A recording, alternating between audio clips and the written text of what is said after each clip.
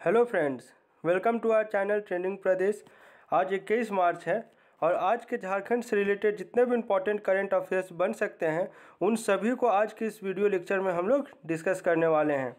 कल के video lecture में हम लोगों ने झारखंड में इंपॉर्टेंट पोस्ट यानी इंपॉर्टेंट अपॉइंटमेंट्स टॉप थर्टी जो जितने बन सकते थे, उन सभी को हम लोगों ने डिस्कस किया है। अगर अभी तक आपने उस वीडियो को नहीं देखा है तो आप प्लीज़ उसे देखें। प्लेलिस्ट में वो अवेलेबल है। ये काफ़ी इंपॉर्टेंट है आपके upcoming exam point of view से। और कमिंग वीडियो लेक्चर्स में हम लोग इंडेक्स अवार्ड्स ऑबिट्यूरिस और जो भी इम्पोर्टेंट इवेंट्स हुए हैं झारखंड में, योजना पे एक स्पेशल वीडियो अलग से प्रोवाइड किया जाएगा क्योंकि योजना इंपॉर्टेंट टॉपिक है। और लास्ट सिक्स मंथ का अप टू मार्च अपडेटेड करके आपको ट्वेंटी सेवन या ट्वेंटी एट्थ मार्च तक आपको प्रोवाइड करा दिया जाएगा। यानी इस मार्च के अंत होते तक आपको कंप्लीट करंट अफेयर्स का रिवीजन आपका पूरा हो जाएगा। चलिए, आज के लिए आपका पहला क्वेश्चन है, झारखंड के कितने ज़िलों में नर्सिंग स्कूल खोला जाएगा? तो इसका करेक्ट आंसर हो जाएगा ऑप्शन नंबर डी, चौबीस। यानी कि सभी डिस्ट्रिक्ट्स में नर्सिंग स्कूल खोलने का प्रावधान किया जा रहा है। एक्चुअली में क्या है, जब क्वेश्चन आंसर आर चल रहा था उसमें प्रदीप यादव जी ने सरकार से क्वेश्चन किया था। उसी के रिस्पांस में बन्ना गुप्ता जी ने इसका आंसर दिया कि सभी 24 जिलों में इसकी स्थापना की जाएगी। अभी प्रॉब्लम क्या है? जो भी हमारे संथाल परगना डिस्ट्रिक्ट्स में संथाल परगना डिवीज़न में जितने भी डिस्ट्रिक्ट्स हैं, जिसमें आपके साहिबगंज हो गया, गोड्डा हो गया, इन सभी में अभी भी सरकारी स्कूल हो गया या सरकारी अस्पताल अच्छे लेवल के अवेलेबल नहीं हैं। इसलिए उन्हें प्राइवेट स्कूल्स में एडमिशन्स लेना पड़ता है और एक्चुअली में आप देखिएगा ना, जो संथाल परगना डिवीज़न है, वो इतना रिच भी नहीं है। वहाँ पर काफ़ी गरीबी है। इस कारण से गवर्नमेंट स्कूल्स या गवर्नमेंट संस्थान का होना ज़रूरी है। इस कारण से जो पहला चरण है ना, पहले चरण में गोड्डा के साथ रांची, गुमला, सरायकेला, खरसावा, साहिबगंज और चाईबासा, इन जितने भी जगहों पे रिच रिचनेस की कमी है, गरीबी ज़्यादा है, उन सभी में पहले चरण में नर्सिंग स्कूल की स्थापना की जाएगी, ताकि गरीब जन भी इसमें पढ़ाई कर सकें। उल्लेखित जिलों के अलावा अन्य सभी जिलों में वित्त वर्ष 2021-22 में नर्सिंग स्कूल खोले जाएँगे। चलिए सेकंड क्वेश्चन है। इंडियन रेलवे द्वारा चलाए जाने वाले भारत दर्शन स्पेशल ट्रेन झारखंड के कितने जिलों से होकर गुजरेगी? इसका करेक्ट आंसर है, हो गया, हो जाएगा आपका ऑप्शन नंबर ए टोटल पाँच डिस्ट्रिक्ट से गुजरेगी। ये आपका शुरुआत होगा उड़ीसा के झारसुगुड़ा से, फिर ये एंटर करेगा आपका झारसुगुड़ा, हो गया उड़ीसा का, उसके बाद ये एंटर करेगा आपका धनबाद।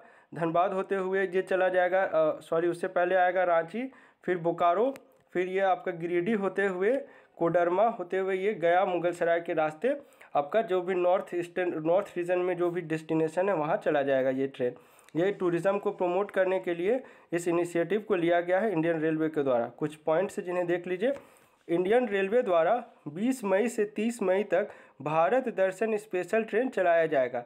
इसके अंतर्गत हरिद्वार, ऋषिकेश, वैष्णो देवी, अमृतसर, मथुरा, वृंदावन एवं अयोध्या का भ्रमण कराया जाएगा। उक्त यात्रा 20 मई को भारत दर्शन स्पेशल ट्रेन द्वारा झारसुगुड़ा जो कि उड़ीसा में है, से शुरू होकर राउरकेला, रांची, बोकारो, आसनसोल, धनबाद, पारसनाथ, जो कि आपका गिरिडीह में हो गया पारसनाथ से आपको सबसे पहले याद आना चाहिए, पारसनाथ की ऊंचाई कितनी है? तेरह मीटर। फिट में भी आप याद रखिए, या एक चीज़, क्योंकि आपको जब आप वाटरफॉल्स पढ़ रहे होंगे, या बहुत सारा चीज़ है ना, पढ़ने के लिए तो आप फीट या मीटर दोनों में तो याद नहीं रख सकते। आप एक काम करिए, या तो फीट में याद रखिए, या तो मीटर में याद रखिए, और कन्वर्सन याद कर लीजिए, क्योंकि एग्ज़ाम में कुछ भी पूछ सकता है।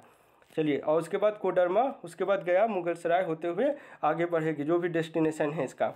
ये इसका उद्देश्य क्यों है? आखिर इसे क्यों चलाया जा रहा है? इसे समझिए। कोरोना महामारी के बाद समाज के लोगों के बीच नकारात्मक नकारात्मकता यानी नेगेटिविटी को कम करने के उद्देश्य से रेलवे द्वारा इस तरह का स्पेशल ट्रेन चलाने का प्रयास किया जा रहा है। थर्ड क्वेश्चन है, झारखंड के किस इंडस्ट्री ने अपना लोगो और सुख वाक्य यानी स्लोगन का नाम अपना यूरिया सोना उगले रखा है? तो इसका करेक्ट आंसर हो जाएगा ऑप्शन नंबर बी हर्ल जो इसका फुल फॉर्म हो गया, हिंदुस्तान उर्वरक और रसायन लिमिटेड देखिए, ये जो है आपका कहाँ पर स्थित है? सिंदरी में स्थित है। सिंदरी कहाँ है? धनबाद ज़िले में पड़ता है। अब बी सिंदरी का आपने बहुत बार देखा होगा ऑप्शंस में। तो ये सिंदरी वहीं पर है। धनबाद का, जो धनबाद और बंगाल का बॉर्डर पर है। दामोदर नदी, ये ये अब धनबाद हो गया। ये आपका हो गया बंगाल। और बीच से गुजरती है आपकी दामोदर और जस्ट यहाँ पर है आपका सिंदरी। ठीक है क्लियर हो गया होगा। और ये बना कैसे? एक पहले एफसीआई हुआ करता था यहाँ पर सिंदरी में। फर्टिलाइज़र कॉरपोरेशन ऑफ़ इंडिया इसी को रिप्लेस करके आपका नया इस्टेब्लिश किया गया है हर्ड चलिए, कुछ इंपॉर्टेंट पॉइंट्स है जिन्हें देख लीजिए। हिंदुस्तान उर्वरक एवं रसायन लिमिटेड, हर ने अपने लोगों और सुख वाक्य का नाम अपना यूरिया सोना उगले रखा है।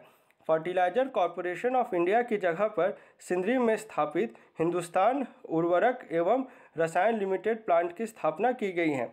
सिंदरी के साथ गोरखपुर और बरौनी प्लांट में भी इसकी शाखा का स्थापना की गई है। यानी सिर्फ़ सिंदरी अकेला नहीं है सिंदरी एक हो गया, दूसरा हो गया गोरखपुर और तीसरा हो गया बरौनी। इन तीनों प्लांट्स में हर्ल की स्थापना की गई है। और सबसे इंपॉर्टेंट बात यह है कि सबसे पहले जो प्रोडक्शन शुरू हो रहा है वो सिंदरी प्लांट जो है आपका वहाँ पर शुरू किया जा रहा है। नवंबर महीने से सिंदरी इकाई में, सिंदरी इकाई से अपनी यूरिया सोना उगले की आपूर्ति झारखंड, बिहार सहित पूरे देश में शुरू हो जाएगी। यह जानकारी केंद्र उर्वरक एवं रसायन मंत्री डी वी सदानंद गौड़ा के द्वारा उपलब्ध कराई गई है। एक्चुअली एक अभी समिट हुआ था जिसमें केमिकल एंड फर्टिलाइज़र से जितने भी इंडस्ट्रीज़ रिलेटेड हैं, उन सभी की एक मीटिंग बुलाई गई थी कि किस तरह इसमें हम लोग इम्प्रूवमेंट कर सकते हैं। क्योंकि कोरोना काल के चलते जो है आपका बहुत इंडस्ट्रियल यूनिट्स को नुकसान हुआ है, उसी के लिए एक पॉसिबल सॉल्यूशन निकालने की कोशिश की जा रही है।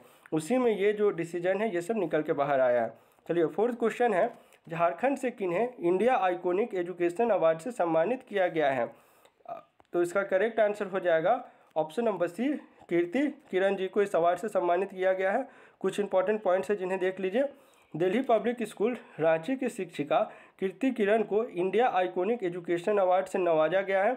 मैंने अवार्ड्स के बारे में पहले भी बताया था आपको, जब कभी भी आप अवार्ड्स को याद रखें तो उसमें सिर्फ़ आपको अवार्ड का नाम नहीं याद रखना है।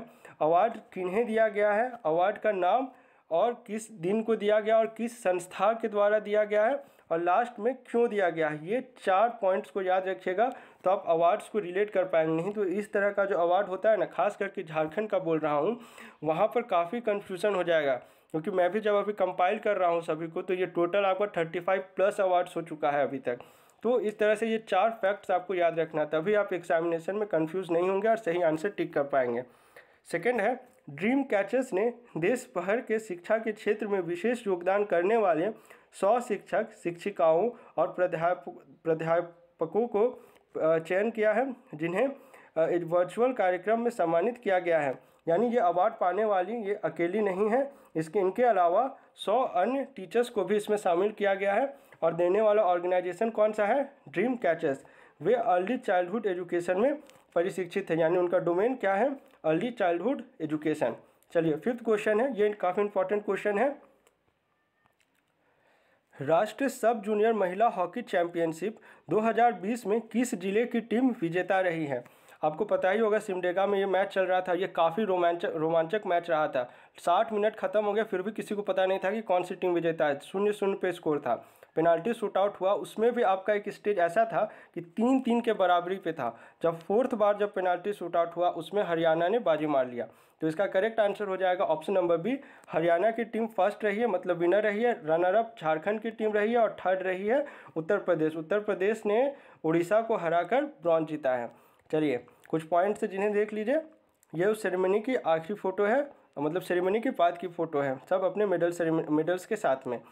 सिमडेगा के एस्ट्रोटफ स्टेडियम में आयोजित राष्ट्रीय सब जूनियर महिला हॉकी चैंपियनशिप 2020 के फाइनल में मेजबान झारखंड को हरियाणा की टीम ने पेनाल्टी शूटआउट में हरा दिया।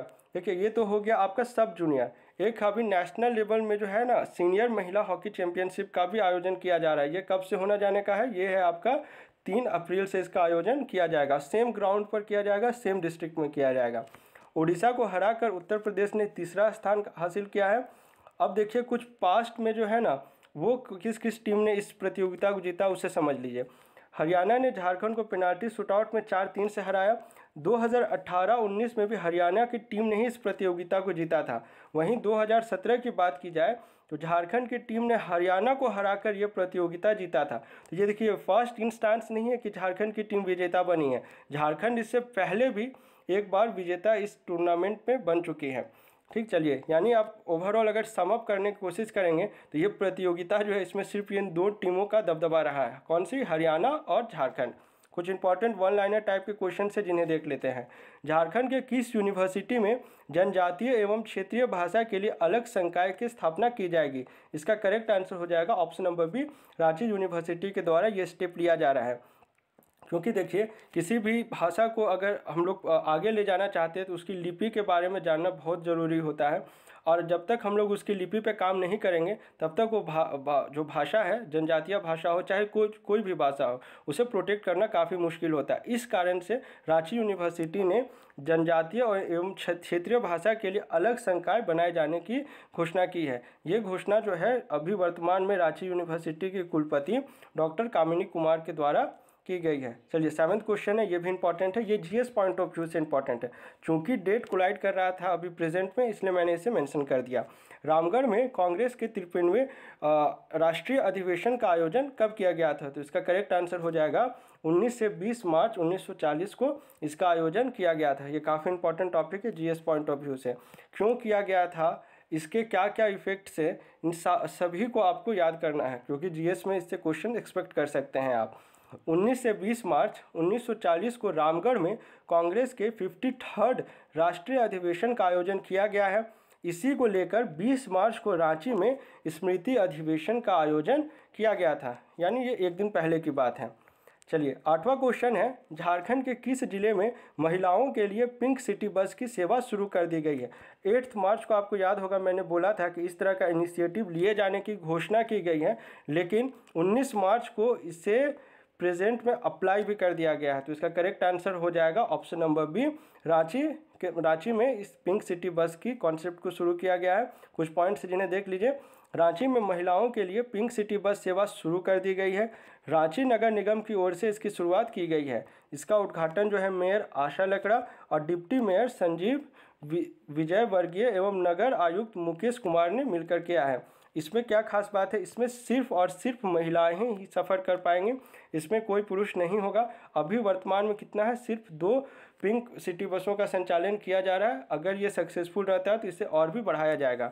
ये बसें महिलाओं के लिए रिज़र्व है। इसमें सिर्फ़ और सिर्फ़ महिलाएँ ही सफ़र कर पाएँगी। इन पे जो कंडक्टर है या ड्राइवर है, वो भी महिलाएँ होंगी। चलिए, प्रीवियस कुछ क्वेश्चन को देख लेते हैं।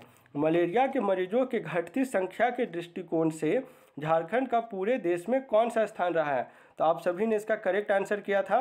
इसमें झारखंड का तीसरा स्थान रहा है। चलिए कुछ इंपॉर्टेंट पॉइंट्स है जिन्हें देख लेते हैं। अब बात आई है यहाँ रिपोर्ट की। रिपोर्ट में दो तीन चीज़ आपको याद रखना होता है। पहला तो रिपोर्ट कौन से ऑर्गेनाइजेशन के द्वारा दिया गया है? कौन सा ऑर्गेनाइजेशन इसे जारी किया? तो इसे किसके द्वारा जारी किया गया? डब्ल्यूएचओ के द्वारा इसे जारी किया, यानी वर्ल्ड हेल्थ ऑर्गेनाइजेशन इसके मुताबिक जो है 2020 में झारखंड मलेरिया निपटाने वाले देश के तीन राज्यों में शामिल है, यानी टॉप थ्री में है। पहले में कौन सा है? मेघालय, दूसरे में उड़ीसा और तीसरे नंबर में झारखंड। ये कंपेयर किया जा रहा है, यानी 2019 में कितना था और 2020 में कितना था। सिर्फ़ 2020 का डेटा नहीं है, ये डिक्रीमेंटल कंपैरिजन का डेटा है ये। अब देख लीजिए कितना प्रतिशत है। झारखंड में मलेरिया के मामलों में टोटल 64.83 परसेंटेज की कमी आई है। मतलब पिछले साल था इकतीस हज़ार चार सौ अठहत्तर और इस साल कितना आया है? ग्यारह हज़ार इकहत्तर। चलिए, काफ़ी अच्छी इनिशिएटिव है। रिपोर्ट से याद आया, अभी आपका वर्ल्ड हैप्पीनेस इंडेक्स आया है। उसमें बताइए आपको इंडिया का कितना स्थान है? काफ़ी ख़राब प्रदर्शन इंडिया का लीस्ट टेन कंट्रीज़ जो होता है ना लास्ट से जो दस कंट्रीज़ है, उसमें आपका इंडिया शामिल हो गया। आप रैंकिंग अगर आपको पता है तो आप इसे कमेंट करें, आपका रिवीजन हो जाएगा। और ज़रूर से ज़रूर कमेंट करें। चलिए, आज के लिए आपका क्विज क्वेश्चन है, झारखंड में इको रिट्रीट फेस्टिवल की शुरुआत किस जगह से की जाएगी? एक्चुअली में इसे फरवरी से ही शुरू किया जाना था, लेकिन फरवरी से तो हुआ नहीं। अब लेकिन क्वेश्चन फ्रेम कर दिया गया है। आप इसे आंसर करने की कोशिश करें। देखिए एक्चुअली में ये तीनों जगह में इसको लागू किया जाना है। लेकिन शुरुआत जब भी की जाएगी, एक ही स्थान से की जाएगी। इसके ऊपर टूरिज़्म का जो पॉलिसी बन रहा है ना न्यू टूरिज़्म पॉलिसी 2021 जो बन रहा है, एक अप्रैल से जिसका लागू किया जाना है, उस पर भी इस चीज़ का ज़िक्र किया गया है। आप इसका सही आंसर करने की कोशिश करें और ज़रूर से ज़रूर आंसर करें। ठीक ना? चलिए, अगर आप अभी गलती करेंगे, आप फ्यूचर में इस चीज़ को दोबारा गलती नहीं करेंगे। अभी करेंगे तो चलेगा, फ्यूचर में करेंगे तो दिक्कत हो सकता है। ठीक है, चलिए मिलते हैं झारखंड के अगले वीडियो लेक्चर के साथ। Thanks for watching this video